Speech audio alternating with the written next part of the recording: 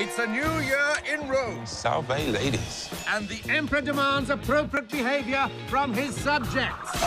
You shall be virtuous. You shouldn't sleep with a girl unless you're prepared to deal with the consequences. Oh, these are some spicy consequences. And respectful of the authority.